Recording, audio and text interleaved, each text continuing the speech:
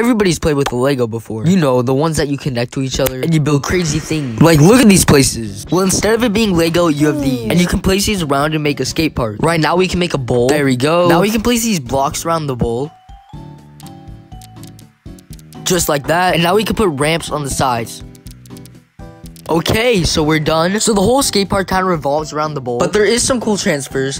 Very cool. Let's add some rails. I almost forgot I need to put something here so people don't fall off. And here as well. There we go. Let's add something to the park. I don't really know what this is, but it's kind of cool.